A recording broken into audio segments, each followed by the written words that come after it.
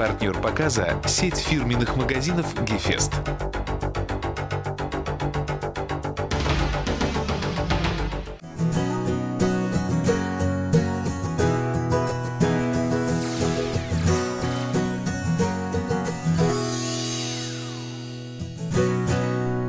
Если утро не заладилось, а день пошел не так, то вечер обязательно будет добрым.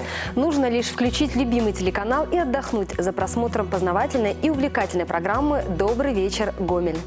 Уважаемые друзья, здравствуйте! И вас приветствует Светлана Князева. И Александр Гамоля. Сегодня мы встретимся с интересными людьми. Это музыканты. Их творческий путь пролегал через тернии к звездам. А сегодня они победители престижных фестивалей и конкурсов. Их душевная музыка просто завораживает. В гостях у программы «Добрый вечер, Гомель» несравненный инструментальный ансамбль «Лирица» Гомельской областной филармонии. И его участники Денис Слобачев, Андрей Сочнев и Елена Сочнева. Добрый вечер. Добрый вечер, уважаемые гости. Добрый вечер. Добрый вечер. Спасибо, что вы нашли время э, навестить нашу программу. Нам очень приятно, даже несмотря на то, что у вас очень плотный график и э, большая занятость. Нам тоже очень приятно быть здесь, в такой теплой атмосфере и поделиться, ну, так сказать, свежей информацией.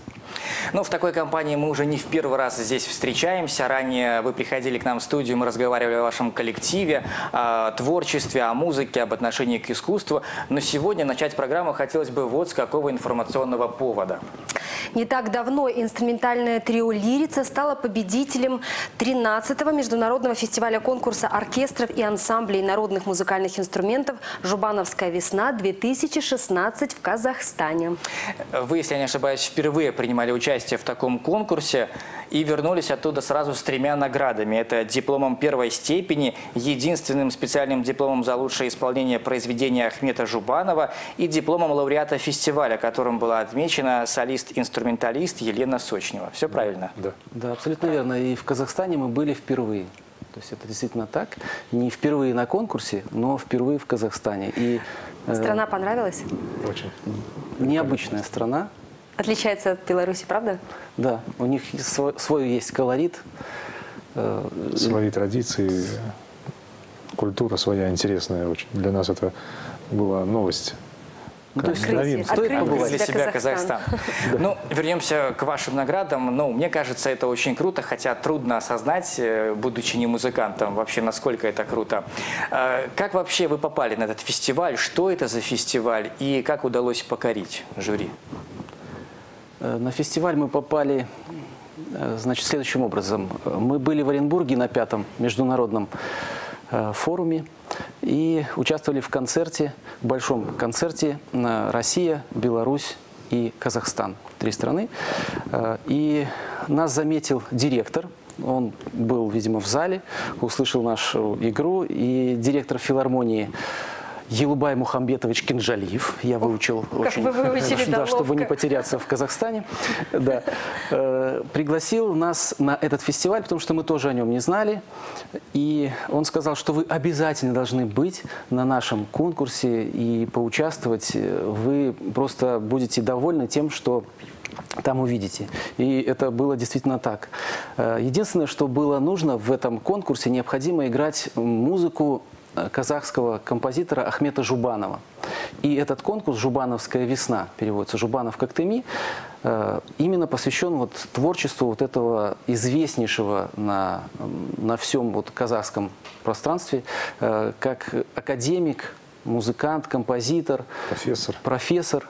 Он возродил профессионально э, казахскую музыку. И э, в этом году 110 лет было празднование его э, даты рождения. Э, В принципе, и филармония носит имя Газиза Жубановой. Это дочь, которая продолжала вот творчество своего отца. Раньше были знакомы с творчеством?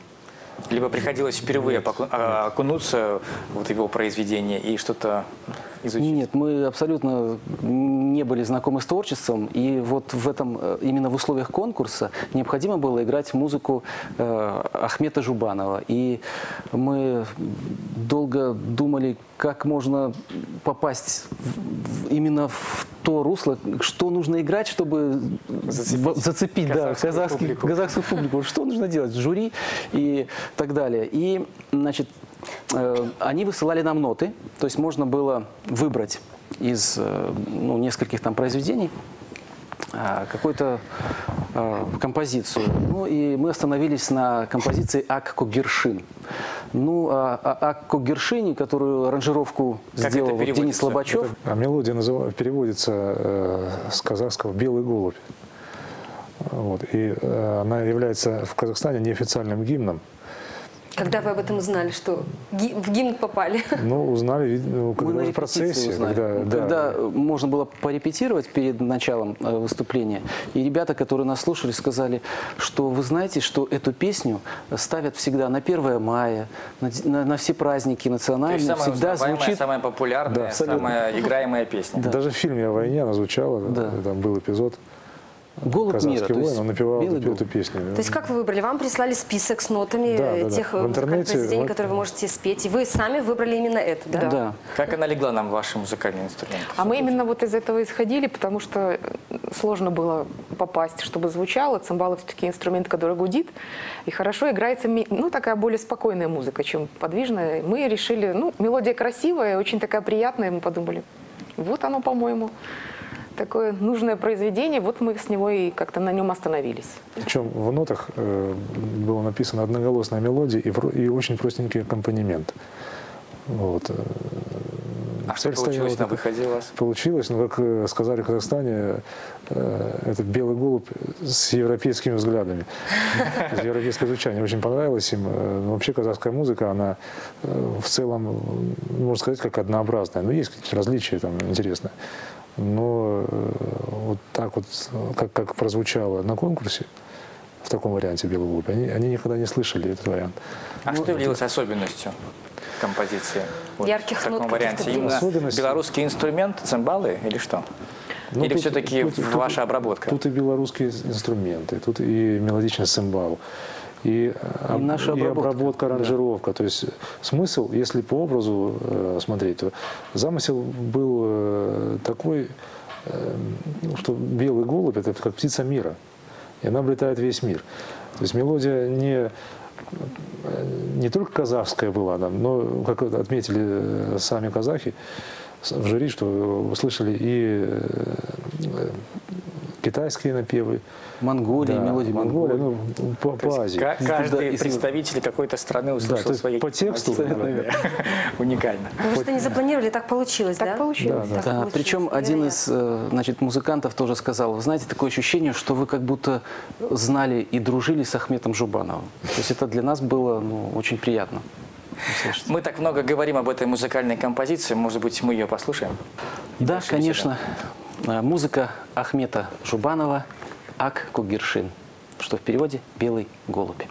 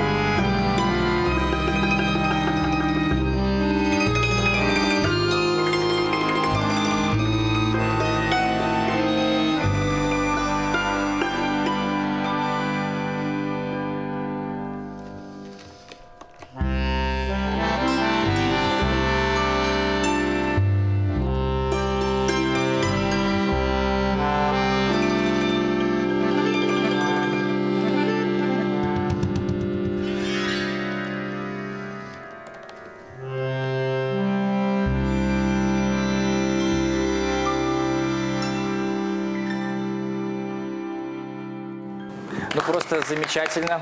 Большое спасибо. Но это правда, что жюри действительно аплодировало стоя? Или это неправда? Ну, больше, я бы сказал, зрители аплодировали стоя, жюри все-таки... То есть весь поднялся весь зал? Все слушатели, да, аплодировали стоя. Действительно покорили. Активно приняли очень, даже э, нам признались, некоторые даже и слезу пустили. Ну, национальная мелодия. А какой фактор стал решающим вот в вашей победе? Вы лауреат этого конкурса, ваш коллектив получил диплом. Ну, наверное, все-таки слаженная игра, э, плюс вот произведения, которые мы аранжировали сами. И, наверное, Наверное, я выбор... думаю, белорусский инструмент цимбала все-таки. А может, еще и выбор программы, он тоже был. Не подходили, не Крепкий. спрашивали, что это за инструмент? И Не было такого повышенного интереса? Конечно, внимания? фотографировались. Да. Цимбалы всегда привлекают. Они Все приходят. есть, конечно. То есть Да. это символ Беларуси. Вот мы э, точно можем утверждать, что где есть цимбалы, там очень много людей сразу. А чем так приглянулась э, жюри Елена Сочнева, которой э, отдельный приз вручили, как вы думаете? Но это было вообще-то удивление, потому что у всех оркестров в основном были солисты. Это вокал вышел, спел, на гитаре кто-то отдельно сыграл или там на баяне. А я все-таки не отдельно играла, я играла в во всей программе совместно. Может быть, Может, она была у нас как белый голубь. может, было похоже. Одна красивая женщина, талантливая среди мужчин. Да. Ну, чем-то она, да, видимо, все-таки впечатлила жюри. Ну, Я думаю, что вы оставили огромное впечатление на и жюри, и гостей, и участников. А какие впечатления остались у вас? От э, ваших коллег, от тех же ансамблей, коллективов? Э, чувствовалась ли конкуренция? Конечно, чувствовалась конкуренция и довольно серьезная. Почему я уже говорил, что э, культура Казахстана, она сейчас развивается, растет, и уровень, естественно, растет исполнение. Э, В каждой области Казахстана есть свой национальный оркестр. Но, в принципе, не только э, Казахстан там заявлял о себе, но и другие страны на, да, на, на- на высоком уровне очень приезжали. Допустим, Турция, там приехали с академии допустим, музыки, профессиональные музыканты. Вот все профессионалы, и фактически филармонические оркестры, э, они составляли конкуренцию нам. Когда сидит коллектив, 30-40 человек, и когда звучит мощь, конечно, мы втроем, нам довольно тяжело было пробить. Конкурировать, но тем Да, не менее. Конечно, за- за- задеть э, вот эти вот э, нервы жюри. Сейчас у вас нет пощекотать после немножко. такого успеха в планах как бы, ну, турне по Казахстану? Конечно, есть. Мы уже оговаривали. Если это. возможность, да? Да, да. Мы, естественно, были люди, которые подходили, проговаривали, но мы пока не будем говорить, э, пока не, как говорится, гоп, пока не перепрыгнул. Но, естественно, конечно, были уже приглашения. И я думаю, что мы поедем, опять. Ну, ничего подобного, как вы говорите, конечно, казахская публика не слышала, особенно такой аранжировки. Чем вы еще удивили э, участников, жюри, гостей фестиваля? Были ли композиции, которые, которые вы сейчас можете исполнить здесь, Наверняка не только победная звучала композиция, и другие. Ваши конечно. популярные. Программа состояла, э, значит, необходимо было сыграть 30-35 минут. То есть это полноценный такой, ну, Мини-концерт. мини-концерт, абсолютно верно, да. Поэтому что могло их заставить? Ну, наверное, Отдать нам первое место. подача, разнообразность программы, потому что все-таки играли в основном национальную музыку Казахстана. Ну европейской там очень мало было музыки. Они удивились вообще, что вы так вот взяли быстро и так вот, ну, скажем, вошли в нужный лад и вот в казахскую музыку просто, ну, за такое маленькое количество времени подготовили эти композиции и Сыграли как родную. сыграли даже лучше, чем это делают коллективы в том же Казахстане. Я думаю, что они все крепко готовились, потому что было слышно, что они все выверено, дирижеры готовы. Ну, может быть, их удивило, что мы издалека приехали, поскольку в основном там азиатские регионы, приехали все азиатские представители. Ну, турки, они все же ближе, Ну, чем. Беларусь. Вот. Почему мы? Ну, Приехали белорусы. Просто мы были хорошо готовы. может быть, да, мы были готовы, мы, мы к этому готовились, это было уже Приехали запланировано. бе- белорусы и показали, как нужно играть казахскую музыку в европейском варианте. Вот- это для них больше было удивление. Сказали, азиатская музыка с европейской аранжировкой. У нас таких представителей еще не было. А сколько времени готовились к фестивалю? Ну, в принципе, мы Около выбирали, месяца. да, выбирали те произведения, которые мы уже на конкурсах играли, поэтому мы знали, что эти произведения э, уже прове- Выстрелят. проверенные, да. Ну, а поскольку уже только добавили вот эту казахскую, ну, здесь она была у нас экстремально быстро, потому что в феврале начались официальные вот эти приглашить, пригласительные моменты, которые уже прислал Казахстан сюда. Ну, где-то три недели. Три недели она Денис писала, Лобачев да, писал аранжировку, делал. Причем из минимума делал максимум инструментальный, который сложно было, я не знаю, как... Ну, он прослушал, Так прослушал же сколько композиций. То есть мы, естественно, интернет, пожалуйста. Ну да, чтобы написать Певцов, музыку, всех сначала исполнителей. посмотреть, о чем там вообще игра- играют, поют. Перевели текст. Надо То было есть это все нужно было делать. посмотреть в интернете, а, какая музыка у них. Посмотрел, был удивлен, конечно. Есть чему поучиться. Саша, их послушайте, они все в сжатые сроки учатся, и все всегда на высшем уровне Это, получается. это при том, Молодцы. что э, коллектив э, просто мега талантлив. Мега. Уважаемые телезрители, для вас звучит очередная музыкальная композиция от инструментального трио «Лирица». Вальсок и полька.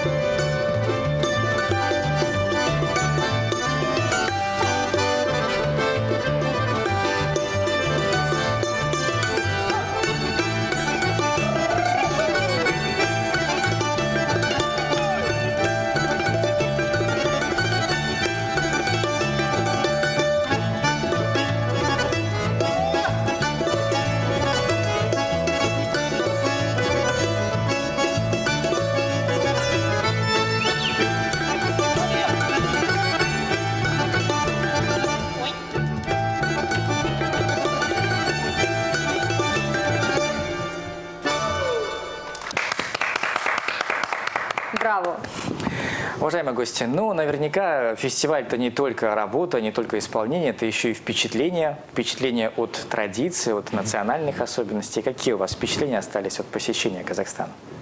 Кухня, люди, внешний Кухня вид. шикарная, Что кухня. понравилось? Традиции, кухня, обычаи. э, ну, Вот нас угощали национальной кухней. У них такие блюда, как пиш-бармак. То есть это э, кусочки теста, э, ну, тонкого, потом картошка, ломтики картошки и мясо. Мясо и ошпаренный свежий лук. Вот, они едят очень много мяса. Говядина, конина, у них это считается дорогое мясо, особенно копченая конина для гостей. После этого э, нас угощали сурпой. Сурпа – это бульон, очищенный бульон, на котором, в котором варили мясо.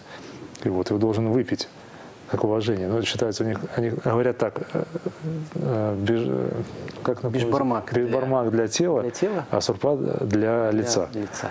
То есть умываются потом? Нет, нет. Пьют, пьют. Но они пьют, тогда, мне считается, ли- лицо тогда более такое свежее становится.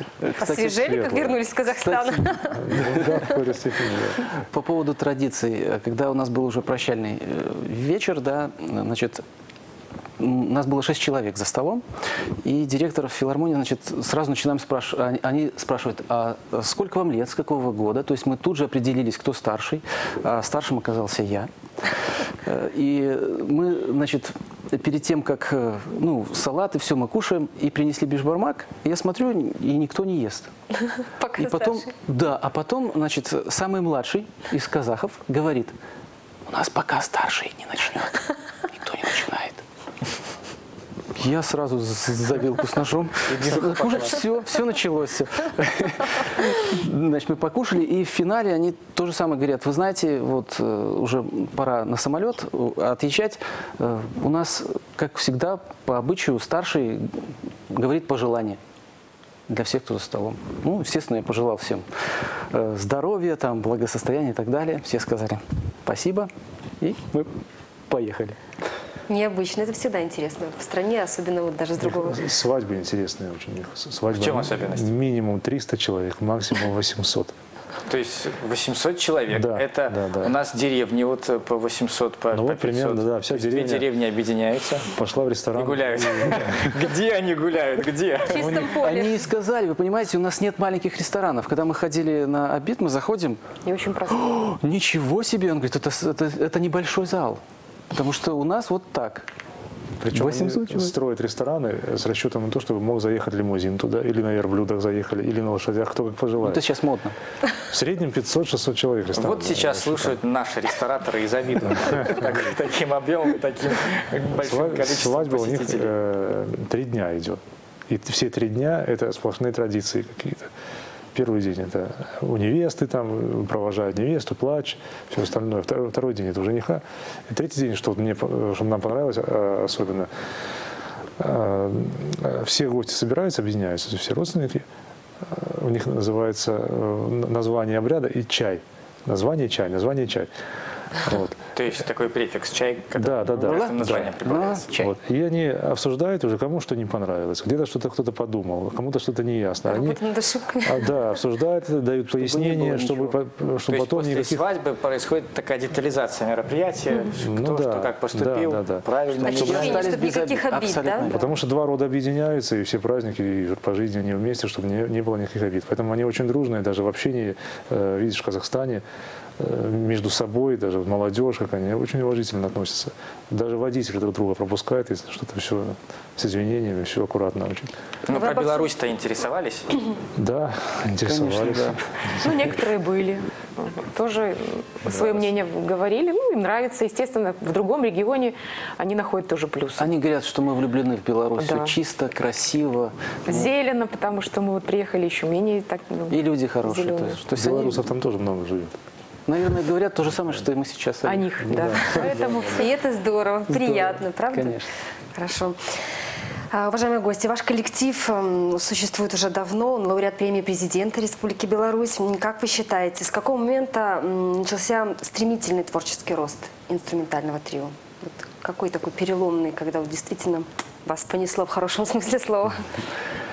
Ну, я думаю, это когда мы уже начали ездить по конкурсам, То есть было целенаправленно, чтобы у коллективов с- был хороший уровень, необходимо участвовать в соревнованиях. Это, это стандартный закон, да, для всех. подход, да. Поэтому вот э, очень большое количество конкурсов пройдя, э, мы уже стали понимать важность того, что мы делаем. И, э, конечно же, это где-то, наверное, год 2003. Да, вот, наверное, с того периода оно уже накопилось и уже как будто бы выстрелило. Оно было уже понятно, что Ну, мы начинали, да, уже с Трофимом. Антиповым, и вот все конкурсы постепенно, постепенно мы двигались, двигались, двигались вперед. Есть очередной э, диплом и победа, вот теперь уже с Денисом Лобачевым.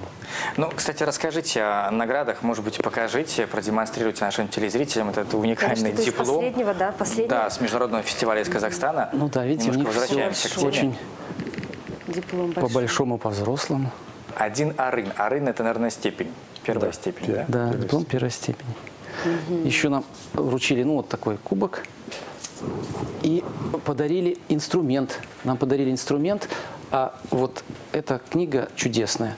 Вы знаете, здесь собраны все Ой, диски там. Да, здесь 12 дисков написанных, записанных. И есть перевод э, песен «Музыкальное наследие Актюбинского региона». Такая книга очень интересная. И подарили нам инструмент, вот вы можете его увидеть. А может быть, Денис и что-то... А почему бы хотите, он сыграть? может быть наиграть. Можно попробовать, я, конечно, не, Ну, чтобы не обидеть не только казахских друзей. Не казах, но тем не менее в машине пока ехали, что, что-то научились. чему-то. Так как можно научиться, если раньше не играли, так вот в машине сидя? Ну, наверное, можно. Это же все-таки профессиональные музыканты. И он пока едет, Да. хоп-хоп, и уже, собственно говоря, можно На на двух сцену. струнах что-то Во-первых, у них сыграть. э, это, я так понял, что больше подарочный инструмент вообще, профессиональные инструменты. Ну, конечно. Две струны я вижу, да, Большой, всего лишь у этой да, да, дамбры? да. Две струны всего лишь, но играют они здорово на них. Оркестры э, сидят, группа, группа вот таких вот инструментов. Все в как- технике как один. исполнения заключается, либо в звучании инструмента? Ну, тут и звучание, и э, техника э, сама. Ну, струнный инструмент, один из видов струнных инструментов. Пожалуйста. Такая милая Особенно- вещичка там. Да, ну, звучит так. Они, во-первых, садятся интересно, они садятся вот так вот. И весь концерт так сидят. И вот, э, Так что нужно тоже это- растяжку иметь определенную. Хорошо. Удобные брюки.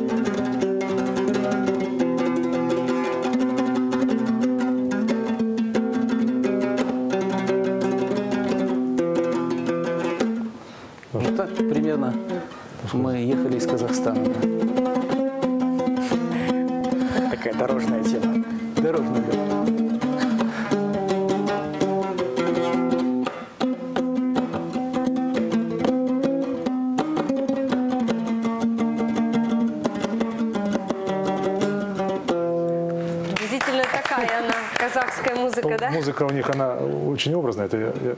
я- сыграл как бы... Ну, на кнопочках у тебя лучше, да, ну, получилось. да, да. Андрей, наверное, думал, ну, хорошо, что казахи не видят. Да, мы просим прощения сразу, потому А что... вообще музыка у них очень образная. Она, когда звучит оркестр, сразу рисуются степи казахские, сразу рисуется национальная у них э, традиция а- соколиная охота. Ну, вот видите, как интересно, вот традиция, вот мировосприятие, вот природы, вот именно все это вкладывается в искусство. Да, и да, да. получаются свои музыкальные инструменты национальные, очень интересные. Вот. Поэтому, ну, помимо домбру, есть еще у них национальные музыки. Я обратила внимание, вот здесь на инструменте висит перышко, и у, у казачек тоже, э, казахских женщин, головные уборы тоже были. Это у них такое С обязательное... этим связана традиция. Вообще это ле- лебединое перья. Вот это лебединое Вот. перо, И да. когда нам рассказывали, э, на шапках у женщин такие же лебединые перья, только там по- побольше немножко и более пушистые. Вот. Так, э, в этом традиция есть, когда в старину два рода, когда, допустим, ну, дружат между собой, и э, сын, одного сына, у вто- у второго дочка. Э, И, значит, один, э, отец сына говорит, что вот мой сын женится на твоей дочери. И одевает ей шапку. С лебедиными перьями. Да, да. То есть все, это означало то, что Она эта девочка стол. занята уже, Всё, да, и пока она не вырастет, да. И что, не носили эти шапки? Да, носили, Всегда. носили. То есть не занимать. Не, ну слушайте, ну вот то ли колечко, можно спрятать там, в карман положить, никто. Надо А уже шапку-то уже все, уже каждый видит издалека. Сейчас эта традиция есть, но она выполняется только уже в момент бракосочетания. Одевает шапку и все. А раньше с детства ходили Я, шапкой. кстати, стали спрашивал, у, у нас был сопро- сопровождающий э, нас Мирбул, его звали. Эм, Это был э, дирижер камерного Хора. хора э, Актюбинской филармонии. И он, я тоже спрашивал, а как вот у вас с национальными одеждами, то есть носят ли и так далее? Он говорит, ты знаешь, каждый праздник, если, или даже ты, если идешь в гости, мы несем, я, допустим, несу тюбетейку там, или какой-то халат. Это, это принято. И он у меня говорит, в шкафу очень много этого всего. В смысле несу? Они- как, с они- собой несут? Или что, там переодеваются или как? Нет, они приходят в А, в подарок, подарок. и дарят вот все, все, что связано с вот национальными одеждами, там, какими-то. И одежда Еще- у всех есть дома, для Есть. того, А, чтобы всё, это все всё одеть. есть. У каждого казаха. Вот видите как, я думаю, что, Мы не что захватили они и в тюбетей. дар очень были бы рады также принять э, национальную одежду других стран. И даже, наверное, у, у некоторых есть целые коллекции национальных Наверняка. костюмов, раз существует такая традиция. Партнер показа – сеть фирменных магазинов «Гефест».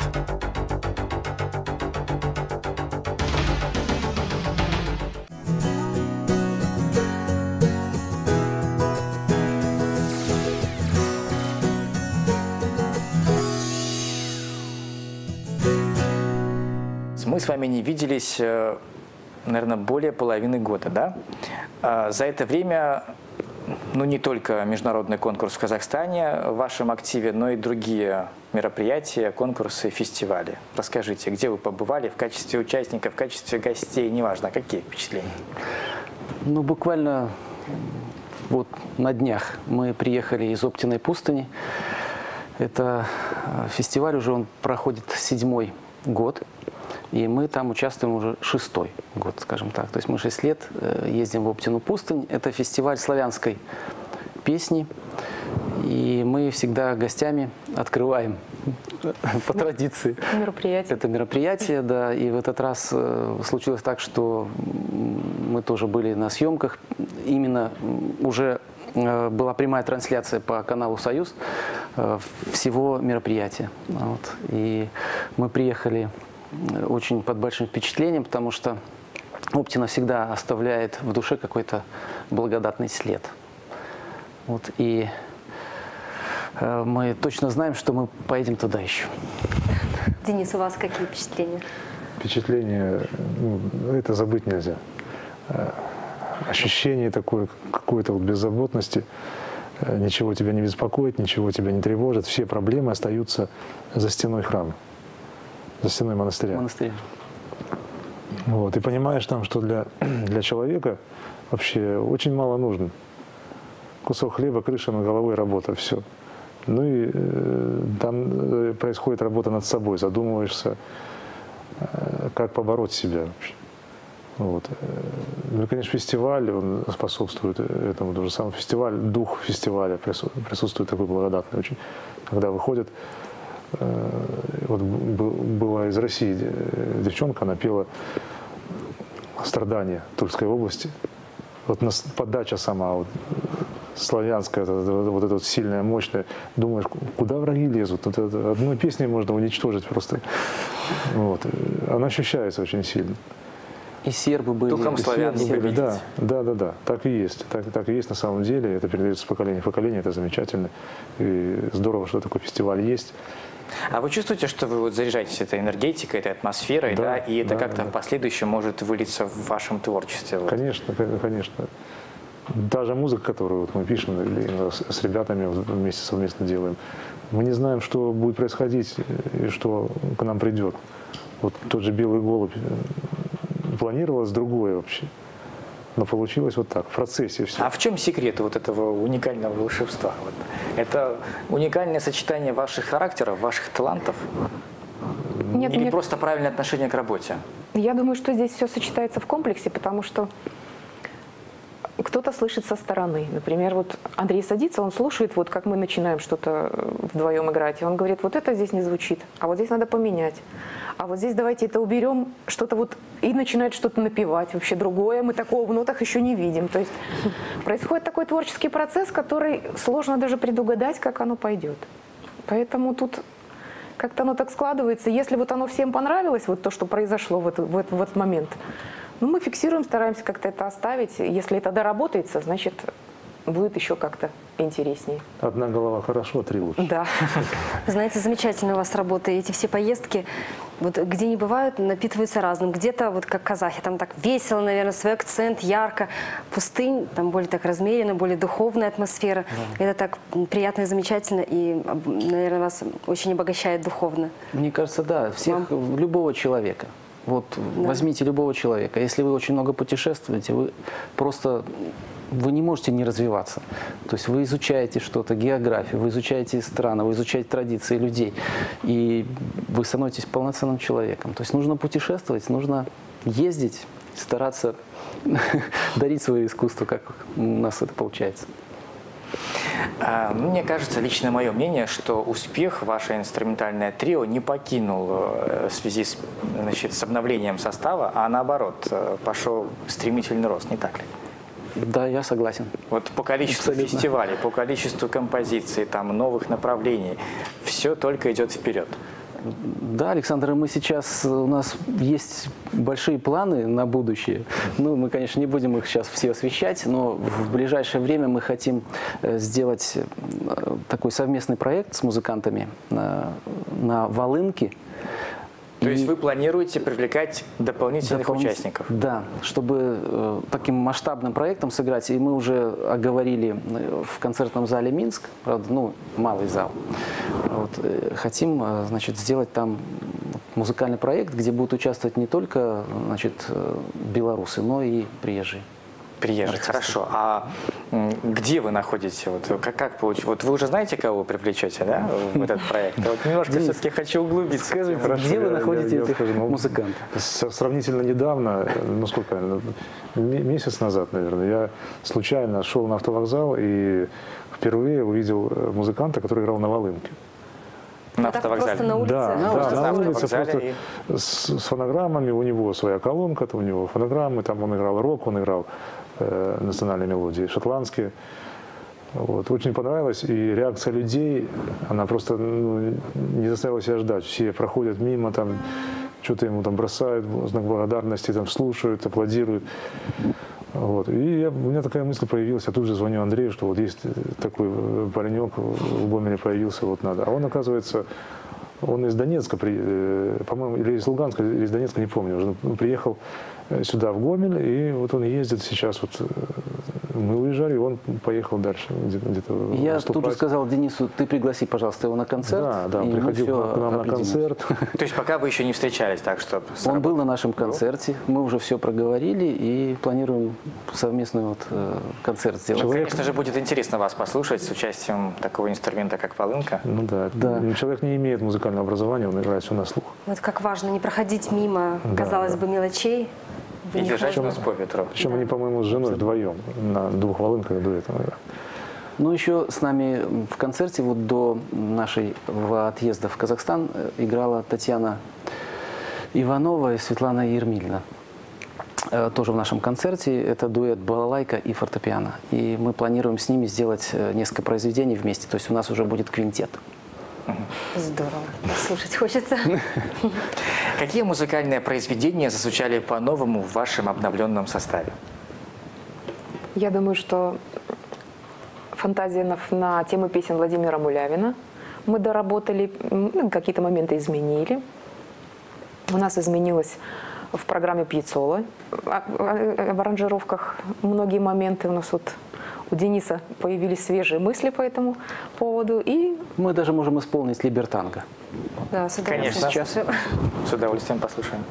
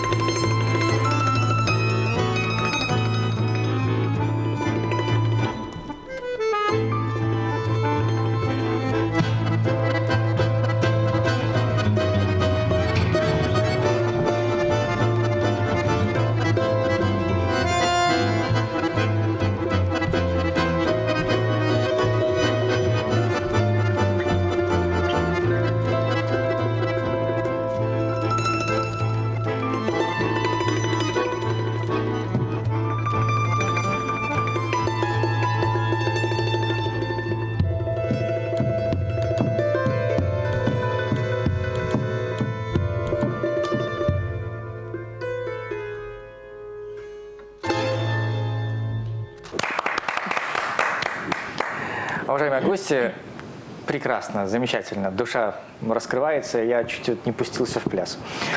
Скажите, как вы подбираете а, значит, авторов музыкальных произведений, сами произведения? Есть какой-то принцип? Либо это все вот под настроение, под ощущение? Больше по ощущению, наверное. Если это что-то интересное, новое. Либо... Но не каждый же ложится на музыкальные инструменты, не каждая композиция. Нет, мы обязательно это слушаем, потому что просто вот все подряд играть не получится.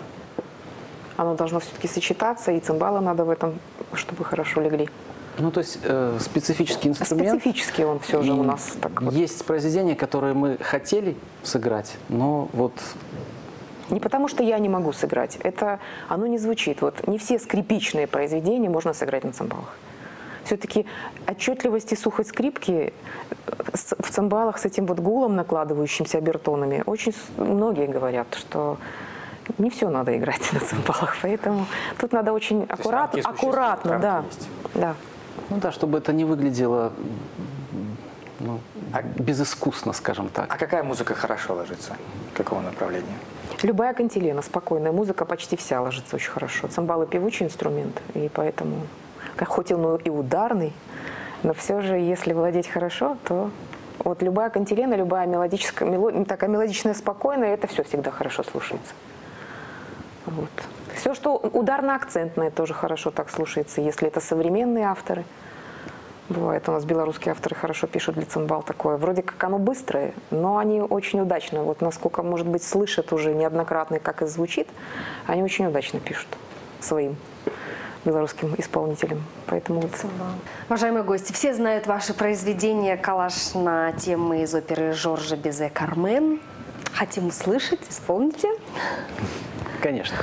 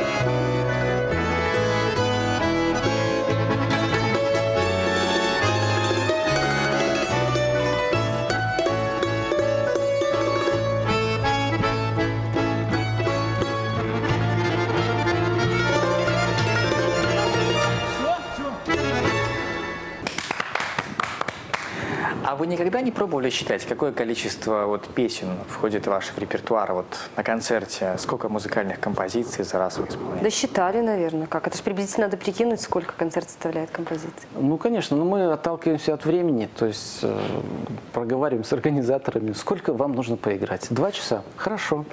Час? Два часа Пожалуйста. это сколько композиций? Ну, если чисто математически, в среднем композиция звучит 4 минуты. Вот если 10 произведений, 40 минут. Вот. Ну, это так, чисто А бывало такое, что два часа приходилось играть? Это же очень много. ну, с антрактом можно. Можно, да. Это несложно. Ну, люди просто устают. Им час 15 – это вот тот предел, на котором они не устали, еще хотят. Но и, в общем, и как До бы конца голод не надо утолять, чтобы было Да. желание Ну да. в следующий раз прийти снова. Какие задумки у вас еще имеются по обновлению репертуара, по, может быть, еще какие-то планы? Не, может быть, не на долгосрочное будущее, а на ближайшее? Есть у нас э, и серьезные вещи, ну, современные вещи, современная музыка. Вот э, Вячеслав Семенов, это известный музыкант, профессор. У него куча званий у него там на международном уровне. Э, Мы сейчас вот работаем над э, его произведением. Посвя- Музыкальное приношение называется. То есть он жене посвящает. Красивая музыка, несмотря на то, что современная, но, в принципе, мелодичная, образная музыка. Вот сейчас э, закончили одно из произведений. Ну, я как бы закончил черновую работу, будем смотреть э, дальше, что можно сделать. Три восточных сна. То есть восточная музыка, ну, или сны странников, там как еще даже с названием. Не конкретно. Да, вот В процессе. только буквально мы вот, э, только с текстом закончил, сейчас вот с ребятами будем смотреть половину. Да, у нас в планах вот за лето, наверное, к осени мы уже хотим обновить программу как можно больше. То есть подготовиться за лето и сыграть абсолютно новую программу. Славянская, Для наших- азиатская, теперь еще и восточная. Может быть, и, и Шотландская костюмы музыка тоже будет. планируете обновлять в связи с обновлением программы и, может быть, состава участников? Вполне возможно, смотря какой музыке мы будем Стремиться. стремиться. Мы же не знаем, куда нас занесет. Кстати, это, наверное, основное ваше кредо, да? Вот э, как-то плыть по волнам определенным, вот так ловить что-то и вот быть всегда в центре происходящего. Мне кажется, у вас это получается. И особо наперед не заглядывая, правда? Конечно. Да вообще, вот э, зная ваш коллектив, у вас столько разных обстоятельств, все сходится в, в одно какое-то русло, и э, какая-то сила к этому прибавляется, особенно в последнее время, и получается успех. Те же фестивали. Вот а- откуда было бы Денису встретить на улице музыканта? Хоп, хоп, встретил, поговорил, появилась какая-то идея. Часто вы такие совпадения замечаете в вашей деятельности профессиональной? И сам Денис таким чудным образом неожиданно появился в Лирице, правда? Да, Наверное, вот с этого момента чудеса и начались. Для меня это шок, конечно. Хочется теперь погрузиться немножко вот вглубь вашего коллектива. А, Андрей, Елена, супружеская пара. Скажите, э, как это влияет на творческий процесс? Вот это способствует развитию коллектива? Где-то, может быть, как вообще определяетесь, и споры? Э, Вот все это переносится на семейную жизнь? Либо как-то стараетесь э, разделять? Вот здесь семья, а здесь творчество. Я думаю, что нет. По-моему, это как стиль жизни. Лирица – это стиль жизни. Поэтому и когда ты вот вдвоем об этом все время думаешь, оно всегда помогает. Мне кажется, наоборот, если бы мы были в разных профилях, нам сложнее было совмещать. То есть никто на себя дело не тянет, Нет, абсолютно содружество. Нет, совершенно. Это целый- Я думаю, что это как-то ну, вот, взаимосвязано, взаимопереплетено. У нас Ничего спрашивают, не мешает. спрашивают, как вы вот все время вместе, вы, вы- Вам не надоели надоело? друг другу? Понимаете, то есть вопрос, ну не буду говорить, что глупый, но Но в лоб. да, наверное, так. Ну, кроме того, я даже знаю больше, что ваша дочь тоже музыкант. И Ну да, она учится сейчас в лицее, Ульяна старается постигнуть много. Она и закончила фортепиано, и цимбалы. А Алена обучала ее. А, школа а такая, сейчас конечно. она да, в теории музыки у нас. Это замечательная семейная династия музыкантов. Уважаемые друзья, ну что ж, наша передача подходит к концу. Да, мы вам желаем всего самого хорошего, творческих успехов. Ну и в обозримом будущем, чтобы вы получили звание как минимум заслуженного коллектива Республики Беларусь. Уважаемые друзья, для вас играют музыканты инструментального трио «Лирица» Денис Лобачев, Андрей Сочнев и Елена Сочнева. Доброго вам вечера. Всего хорошего. Партнер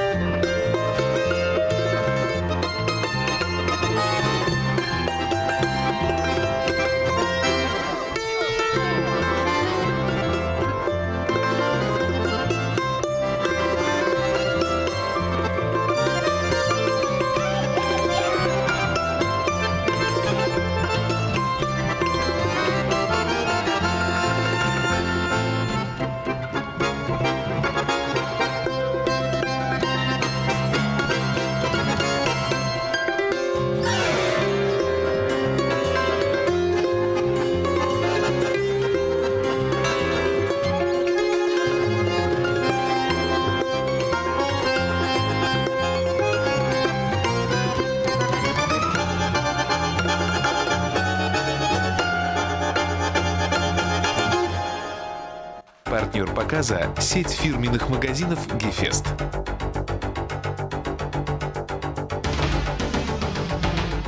Одежда для ведущих предоставлена магазином женской одежды «Бурвин», проспект Ленина, 51.